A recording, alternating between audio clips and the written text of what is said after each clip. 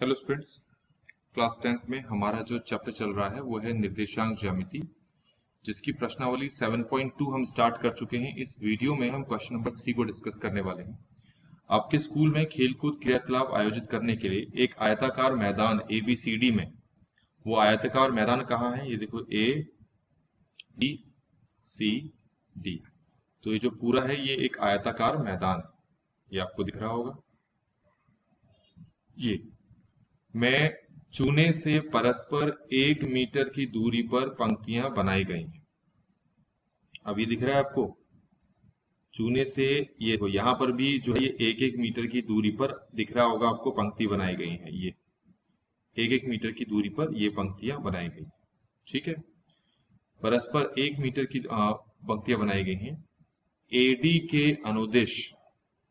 अब यहाँ पर इसका मतलब क्या है? अब एडी आपको दिखाई दे रहा होगा। एडी ये है, जिस दिशा की ओर जो बच्चे हैं उनको दौड़ना है। तो एडी के अनुदेश परस्पर एक मीटर की दूरी पर 100 गमले रखे गए हैं। अब डायग्राम मैंने बगल में भी वैसे ही बनाया है। तो ये देखो, ये ए बिंदु है, उससे एक मीटर की दूरी पर एक गमला रखा गया। फिर एक मीटर की दूरी पर दूसरा गमला रखा गया, फिर एक मीटर की दूरी पर तीसरा गमला गया, एक मीटर की दूरी पर चौथा गमला। इस तरीके से कुल डी तक गमले रखे गए हैं तो कुल सौ गमले रखे गए हैं। तो अगर सौ गमले रखे गए होंगे तो ये जो पूरी दूरी है, ये कितनी हो जाएगी आपके पास? सौ मीटर। यहाँ पर ये दूरी एक मीटर है, ये ये दूरी एक मीटर है, ये भी एक मीटर, ये एक मीटर, ये एक एक मीटर की दूरी यहाँ पर भी आपको दे रखी तो अगर हम कोऑर्डिनेट एक्सिस की बात करें, इसमें ये वाला हिस्सा एक्स एक्सिस होता है, ये हिस्सा वाई एक्सिस होता है। तो ये वाला हिस्सा यहाँ पर आप इसको मानोगे एक्स एक्सिस एक्स अक्ष भी कहते हैं इसको हिंदी में, और इसको आप कौन सा अक्ष मानोगे? वाई तो अब क्वेश्चन में क्या कहा है कि यहाँ पर दो लड़कियाँ दौड़ रही हैं, एक निहारिका है। सबसे पहले जो है वो निहारिका दौड़ रही है। कहाँ पर दौड़ रही है? देखो, ये है जो निहारिका ये दौड़ रही है। इसको कौन सी पंक्ति मिली है दौड़ने के लिए? पहली पंक्ति में तो ये नहीं दौड़ रही है, ये दूसरी पंक्ति में दौड़ रखी है, जिसको मैंने लाल से कलर कर दिया। तो ये दूसरी पंक्ति में दौड़ रही है। और दौड़ते दौड़ते दौड़ते दौड़ते वो इस जगह पर पहुँच गई है। अब ये जगह कितना दूर है? वो हमें निकालना है, क्योंकि देखो ये जो पूरी दौड़ है, यहाँ तक कुल 100 मीटर की है, लेकिन वो पहुँची यहाँ तक। तो ये दूरी कितनी है? तो क्वेश्चन में आपसे कहा है, निहारिका, दूसरी पंक्ति में एडी के एक बट्टा चार भाग के बराबर की दूरी दौड़ती। तो पहले तो आप ये देखो कि कुल दूरी कितनी है। पहले तो आप कुल दूरी लिख लो। कुल दूरी क्वेश्चन में आपको दे रखी है सौ मीटर। और निहारिका द्वारा तय की गई दूरी कितनी है? जो 100 मीटर है, उसका एक चौथाई हिस्सा उसने कवर किया तो 100 को अगर चार से भाग करोगे तो यह आएगा 25 मीटर। इसका मतलब निहारिका ने कितनी दूरी तय की है? सिर्फ़ 25 मीटर की दूरी तय की तो निहारिका दौड़ रही थी दूसरी पंक्ति से, और आगे की तरफ़ दौड़ते दौड़ते उसने दूरी तय कर दी 25 मीटर। तो निहारिका का निर्देशांक हमें निकालना है। निर्देशांक मतलब जो ये एक्स और वाई एक्सिस में है, इसमें इसकी पोजीशन निकालनी है। तो एक्स वाई एक्सिस में जब हम किसी भी पॉइंट की, किसी भी बिंदु की पोजीशन निकालना होता है तो पहले एक्स एक्सिस लिखते हैं, फिर वाई एक्सिस तो निहारिका दूसरी पंक्ति से दौड़ रही है तो दूसरी पंक्ति में जो दो है, यही आपका एक्स है। और दौड़ते दौड़ते उसने एक चौथाई दूरी तय कर ली जो हमने निकाल लिया 25 मीटर तो y एक्सिस में उसने 25 मीटर की दूरी तय कर ली। अब हम आते हैं दूसरा। वहाँ एक हरा झंडा गाड़ देती है मतलब उसने हरा झंडा यहाँ पर गाड़ दिया। अब आते हैं प्रीत की बारी। प्रीत जो है आठवीं पंक्ति में, आठवीं पंक्ति में। कहा है प्रीत? ये देखो, ये। तो ये आठवीं पंक्ति से दौड़ रही है तो x एक्सिस में इसकी वैल्यू आठ मानी जाएगी। और दौड़ते दौड़ते इसने कुल दूरी का, एक पांचवा भाग, एक बट्टे पाँच भाग के बराबर इसने दूरी तय कर ली। तो प्रीत ने जो कुल दूरी तय की है, प्रीत ने, उसने कुल दूरी का एक बट्टे पाँच भाग ही कवर किया। तो सौ को पाँच से भाग करोगे तो ये बीस मीटर आएगा। तो इस तरीके से ये जो प्रीत यहाँ पहुँच गई है तो मुझे अब इसका निर्देशांक चाहिए।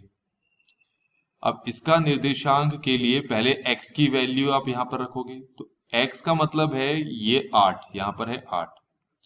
और दौड़ते दौड़ते y एक्सिस में कितनी दूरी तय कर ली इसने? 20 तो अब आप देख सकते हैं कि निहारिका और जो प्रीत है, उनके निर्देशांक क्या है? जिस जगह वो पहुँचे हैं, उस जगह के निर्देशांक क्या है? ठीक हो गया।